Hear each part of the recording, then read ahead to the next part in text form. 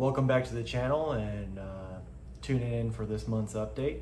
May was an interesting month. Uh, we headed out to Texas for the uh, Wildflower 50K uh, trot.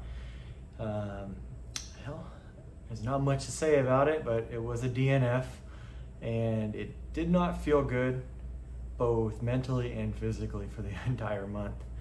Uh, went through some heel issues, uh, had a bad twist which involved the ankle, the knee, and the hip all in one go, and that took a little bit of a rest and recovery to uh, get through. It happened around about mile seven, uh, and I finally just pulled, you know, I hate to say it, mile 23, I just couldn't step a single more foot. Uh, tried everything to stay in that race. Uh, it, it, just wasn't there. Along with the lines with not having proper footwear, which is one of the most important things when you're running. I, I went with a new shoe that I hadn't tested fully. I uh, didn't realize that the sizing difference was slightly off, uh, which resulted in a lot of heel sliding. I'm not going to mention the brand because they are a very, very good brand of shoe. Um, and just, I, I can't, it was just try, you know, wear your shoes, know your shoes. Uh, otherwise, they will they will hurt your feet if you have just a slight size difference.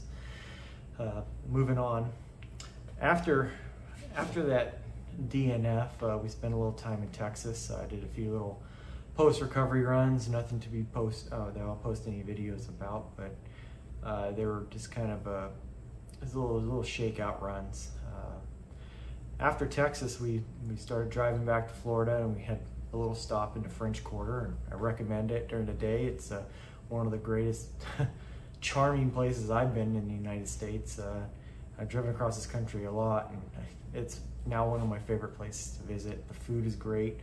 Uh, the next morning run is always interesting uh, when you're driving, or uh, run, not driving, but running around through the streets of the French Quarter and uh, seeing the the remnants of the parties before the next morning. Uh, a lot of people you know, had a good time and they kept it there and uh, managed to keep it going on the streets uh, the following morning. It was quite interesting.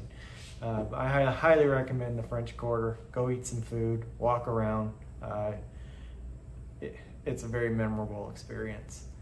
Uh, well, we made it back to Florida after uh, our quick stop in New Orleans, and excuse me, New Orleans, uh, I will be corrected probably for that. Um, but anyway, back here in Orlando and did about a, uh, a week rest. Uh, then I decided to take on just a very, very small, small uh, road running event, which uh, I was the only one signed up for the mile. So there we go, first place finish. But uh, it was a good mood boost, starting small and yeah, building the confidence back up uh, running every day. Uh, just kind of keeping an eye on the the three injuries that I sustained down there in Texas, and uh, yeah, everything else is going good. But future uh, this fall, we have we have the Whistler event by UTMB coming, and we also are really really getting ourselves ready for the long haul 100 in January.